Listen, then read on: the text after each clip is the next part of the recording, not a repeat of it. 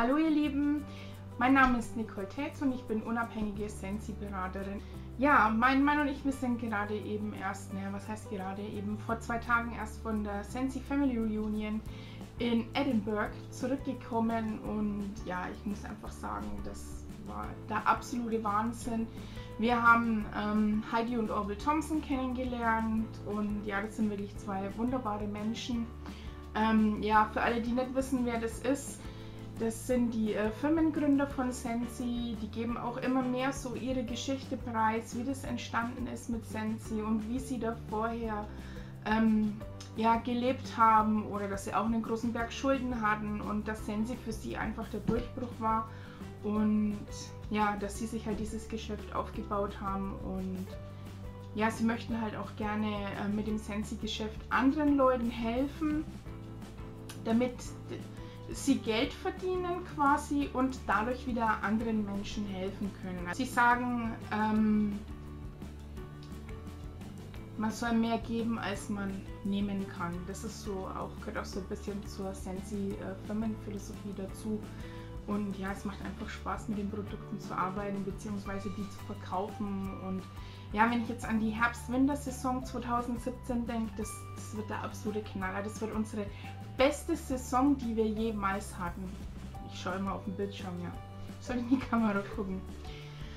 Ähm, ja, auf jeden Fall wird es die beste Saison, die wir jemals hatten. Wir werden jetzt halt in Deutschland auch größer. Also beziehungsweise wir verkaufen mehr, wir brauchen mehr Kataloge. Dadurch wurden jetzt auch schon die äh, Preise der Kataloge gesenkt. Also die werden jetzt zur Herbst-Winter-Saison gesenkt. Und ja, die Produkte sind einfach großartig und da kommt kein anderer, kommt keine andere Firma ran, meiner Meinung nach. Ähm, schon alleine was die Garantie angeht. Wir haben ja auf ähm, unsere Duftlampen und die Diffuser eine unbegrenzte äh, Garantie. Das heißt, wenn euch das Licht oder die Heizplatte ähm, oder die Diffuserfunktion kaputt geht, dann werdet ihr das ausgetauscht bekommen. Natürlich nur, wenn es von alleine kaputt gegangen ist.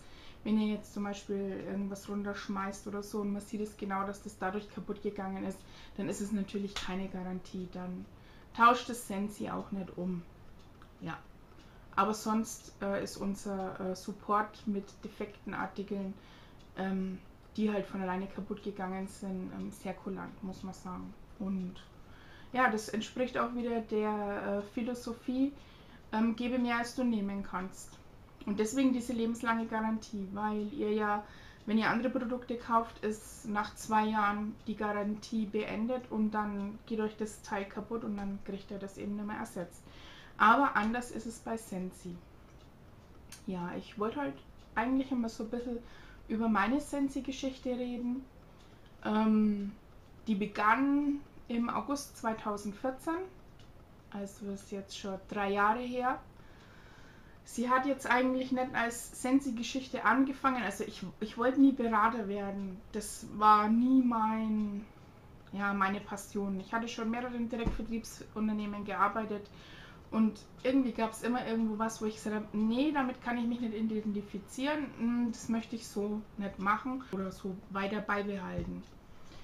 Ähm, ja, dann kam ich zu Sensi, weil ich halt eben keinen Berater in der Umgebung gefunden hatte und habe mir halt einfach mal das Starter-Kit bestellt, weil ich dachte, naja, die 99 Euro ist eine Duftlampe dabei. Also den Produktwert hast du auf jeden Fall wieder herinnen. Und jetzt waren ja damals die Sets wirklich äh, viel kleiner. Wir hatten ja nur eine Duftlampe, die wirklich einer Urne gleich sah. Und ja, was soll man da dazu sagen? Heute sind zwei Duftlampen drinnen im Set. Ähm, es ist noch ein Body Clip mit drin. Ich glaube, das Einhorn ist es. Und ja, es sind halt äh, Düfte drin und Kabas und ja, alles Mögliche und noch ganz viele Geschäftsmaterialien, die man braucht. Also man bekommt heute wirklich alles, was man für den Einstieg bei Sensi braucht. Ja, aber das wollte ich jetzt eigentlich gar nicht sagen. Ich habe das Starter-Kit bestellt und weil ich es in Facebook in der Gruppe kennengelernt hatte, wo eine das halt äh, verkauft hatte und die Kunden, die waren total begeistert von den Produkten. Da habe ich gedacht, na gut, dann kaufst du das Set halt einfach einmal und schaust halt einmal, wie das Zeug so ist, habe ich mal gedacht. Ne? gut, es hat drei Tage gedauert, bis es dann endlich da war. Mein Mann und ich, wir waren schon ganz hibbelig, also es waren wirklich sehr, sehr lange drei Tage. Und dann haben wir es ähm, ausgepackt und haben sofort das Schnuppern angefangen. Wir hatten ja damals, wie jetzt im August, äh, das doppelte äh, Starter-Kit. Das heißt, wir hatten die Frühlings-Sommerdüfte, die es ja zur aktuellen Zeit ähm, für, mit einer Vergünstigung von 10% gab. Und wir hatten auch schon die Herbst-Winter-Düfte dabei. Ähm, ja, damit man halt gleich in die Herbst-Winter-Kollektion dann auch gleich mit starten kann. Das ist also das Angebot, was es bisher im August immer gab. Ja, dann haben wir uns erst durch die Sommerdüfte durchgeschnuppert und wir sind echt aus dem Staunen mehr rausgekommen. Haben dann angefangen, ähm, ja, Bilder zu machen, das dann Facebook unseren Freunden zu zeigen, was, was wir halt jetzt Cooles gefunden haben. Und ja, dann kamen auch schon die ersten Leute, die es gesagt haben, Mensch, das möchte ich auch mal riechen. Ne? Dann sind halt so nach und nach ein paar Leute bei uns vorbeigekommen und ja, haben die Sachen geschnuppert und haben dann auch Sachen mitbestellt. Ich habe gedacht, cool, kriege ich gleich eine Bestellung zusammen und kann mir dann was gratis aussuchen. Das, da habe ich mich dann schon sehr gefreut drüber, dass ich mir gratis was aussuchen konnte. Ja, und dann haben wir das halt jetzt halt, ja, ich würde sagen, zwei Jahre so weiter betrieben, ab und zu mal eine Sammelbestellung aufgegeben, aber wir hatten nie vor, da was Größeres draus zu machen. Angefangen hat es dann ähm, letztes Jahr, als wir zur Sensi Family Reunion in Frankfurt gegangen sind. Und ich muss sagen, für mich war es eine große Herausforderung, nach äh, Frankfurt zu fahren, aus äh, gesundheitlichen Gründen. Sensi ist auch zu einem Zeitpunkt in mein Leben getreten, wo es mir gesundheitlich überhaupt nicht gut ging. Und ja, dadurch habe ich dann auch nicht irgendwie das weiter verfolgt, weil ich nur drauf schauen wollte, dass es mir wieder besser geht. Gut, dann sind wir, ähm, ja, vor zwei Jahren war dann schon eine Reunion in Kassel. Da konnte ich aber nicht hinfahren, also es war für mich gesundheitlich überhaupt nicht möglich. Und ein Jahr später, also ich habe mich dann auch wahnsinnig drüber geärgert, weil die haben dann auch wieder so tolle Produkte bekommen und ähm, haben dann auch das neue Sensi-System damals bekommen. Das war unser toller Diffuser, den wir ja immer noch haben, der super ist. Es kommen wieder ganz, ganz tolle äh, Lampenschirme, aber ich schweife schon wieder vom Thema ab. Ähm, ja, wo war ich stehen geblieben? Ja, äh, Kassel war man nicht, habe ich mich drüber geärgert. Mein Mann war damals auch noch nicht so, dass er gesagt hat, ja, ich muss jetzt da unbedingt hin. Und letztes Jahr war es dann so, dass wir schon ein äh, Teammitglied hatten, und der ihr Mann äh, ging da mit zur Reunion und dann haben sie eben gesagt, Mensch, äh, Manuel, geh halt auch mit. Dann ist der Daniel nicht so alleine. Liebe Grüße eben an Christina und Daniel, unsere ersten Teammitglieder, die immer noch dabei sind. Und ich schweife schon wieder vom Thema ab. Ich komme vom Hundertsten ins Tausendste. Ähm, ja, und dann hat sie halt der Manuel erbarmt, mitzugehen auf die Reunion letztes Jahr. Und ähm, ja, da haben wir dann irgendwie Blut geleckt, weil wir gesehen haben, wie toll das ist. Das ist alles so, so familiär und du wirst zu nichts gezwungen. Also du kannst selber entscheiden, wie du dein Geschäft aufbauen möchtest. Du kannst selber entscheiden, wie viel Umsatz du im Monat machen möchtest. Du musst dich halt nur daran halten, dass du alle äh, drei Monate einmal eine Bestellung von 300 Euro hast und sonst musst du eigentlich gar nichts weiter beachten also man, es gibt schon Richtlinien, an die man sich halten muss, aber wir haben halt äh, relativ viele Freiheiten bei Sensi. Aber das kann man ja in einem persönlichen Gespräch ähm, besser klären.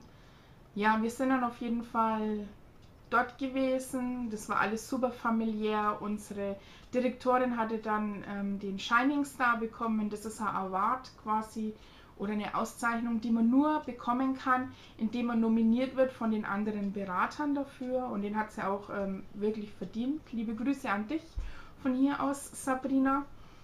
Ähm, ja, den hat sie also wirklich verdient bekommen und das haben wir dann auch alles riesig gefeiert und ja, ich bin so froh, dass ich da dabei war. Man lernt die anderen Kollegen kennen, die man nur so durchs Internet äh, kennenlernt und das ist, das ist einfach wie eine Familie. Also das heißt ja Asensi Family und es ist einfach die Familie, die eigene Familie steht bei Sensi auch im Vordergrund und ja, nettes Geschäft und ja, das ist, ich weiß gar nicht, wie ich das beschreiben soll. Das ist, das ist so eine Herzlichkeit, die ich bisher in noch keinem Job so erlebt habe. Wobei ich jetzt Sensi für mich nicht als Job sehe, sondern es ist einfach, ja, ich teile meine Freude an den Produkten ähm, ja, mit, mit anderen Menschen. Ich versuche immer wieder Kontakte zu knüpfen, ähm, versuche über meinen eigenen Schatten zu springen und der Schatten war dieses Jahr sehr groß.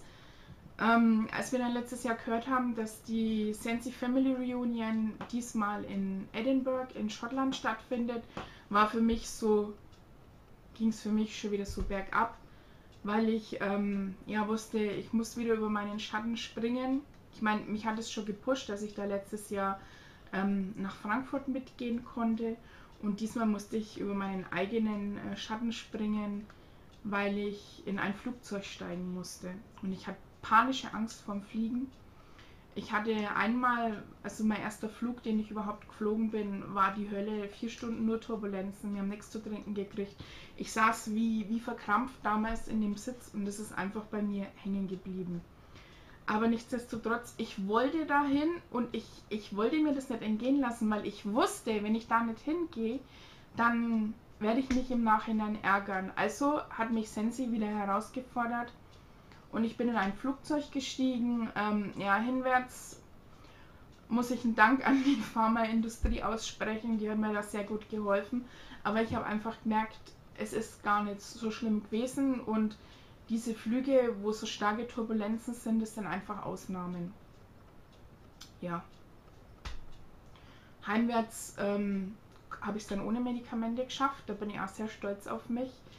Ähm, ja, bin dann, hab den Flug dann auch richtig genossen. Ich saß am Fenster, habe Fotos geschossen von über den Wolken und ja, ich habe mich einfach gefühlt wie, wie, ich weiß nicht, weil ich halt über meine Grenzen hinausgegangen bin. Über meine selbst gesteckten Grenzen bin ich hinausgegangen, bin nach Schottland geflogen, habe mich in einer großen Menschenmenge, was auch für mich ein Problem ist, äh, aufgehalten. Aber das sind alles so, so sind alles herzliche Menschen irgendwie. Das ist egal, aus welchem Land die kommen. Es waren Franzosen da, Spanier, Engländer, Schotten, Irland war da und äh, Österreich und Deutschland.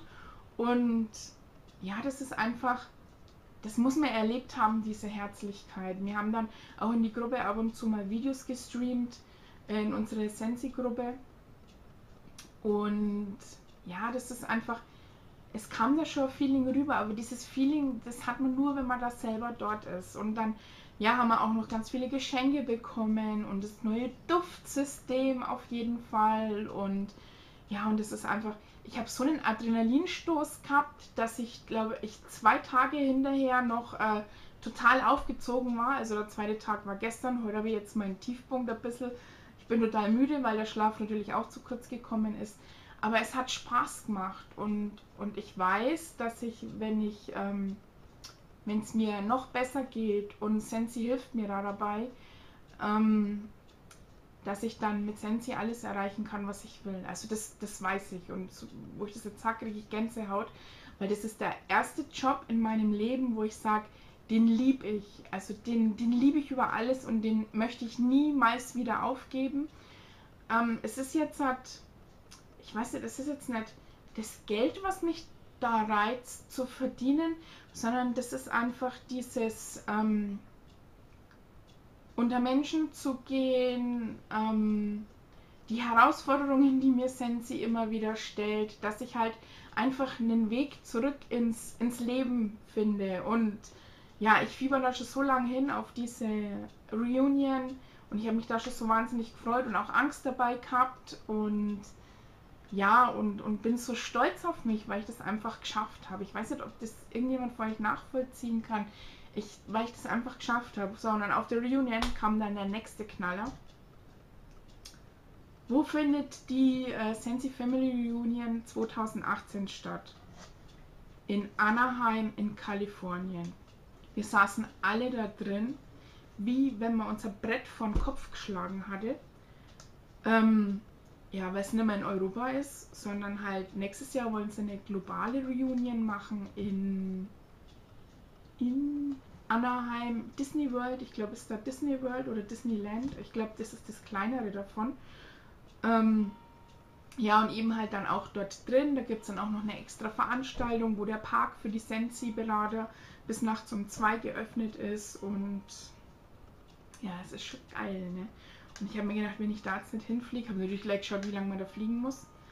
Ähm, ja, es sind um die zwölf Stunden, die man da fliegen muss. Und ja, ich muss sagen, ich will dahin.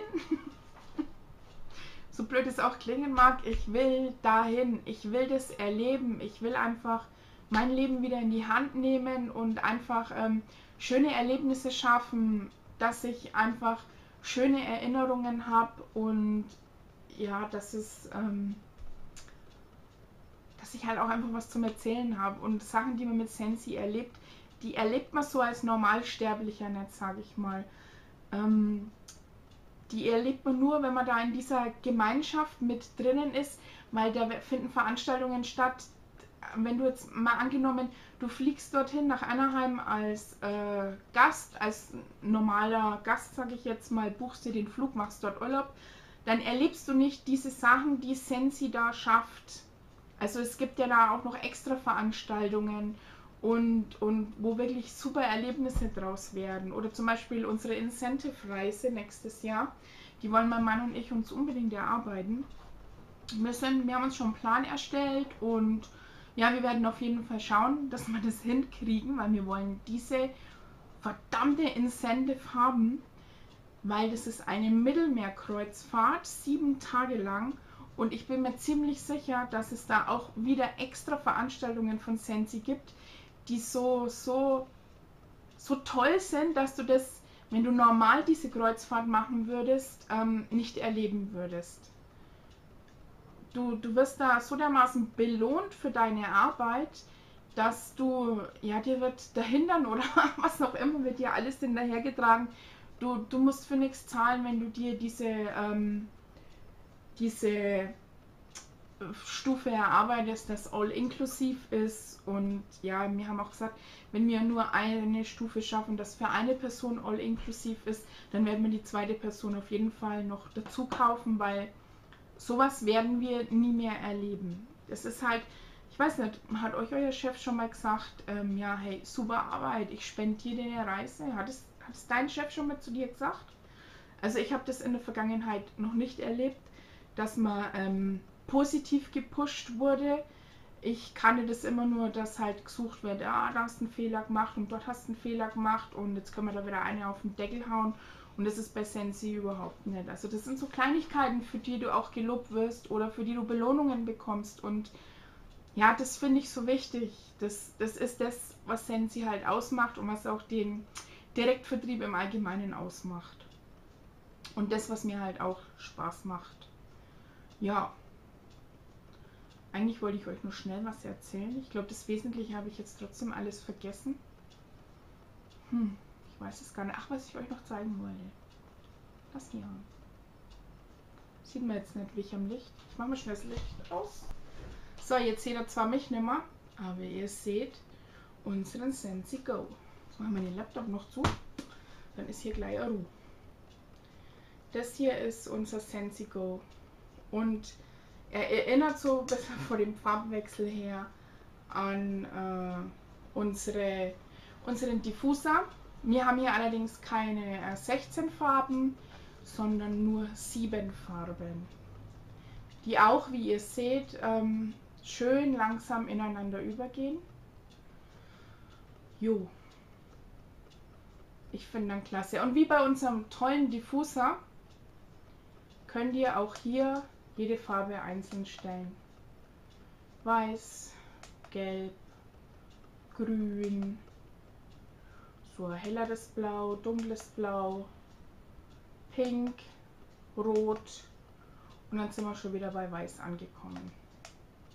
Ich mache jetzt mal auf das weiße Licht und zeige euch mal das Innenleben. Also wir haben hier so einen Deckel oben drauf. Und dann seht ihr hier, ich mache mal aus, dass hier in der Mitte was drin ist. Na, geh aus. So, jetzt ist er aus. Der Ventilator. Da ist so ein kleiner, lautloser Ventilator drin. Also den hört man kaum. Man muss schon wirklich ähm, richtig hinhören, dass man dann hört. Jetzt schalte ich nochmal wieder ein. Ein bisschen länger draufdrücken. Und dann geht er wieder an. Und dann haben wir hier diese. Sieht man jetzt nicht, weil es dunkel ist. Ich zeige euch gleich im Licht noch einmal.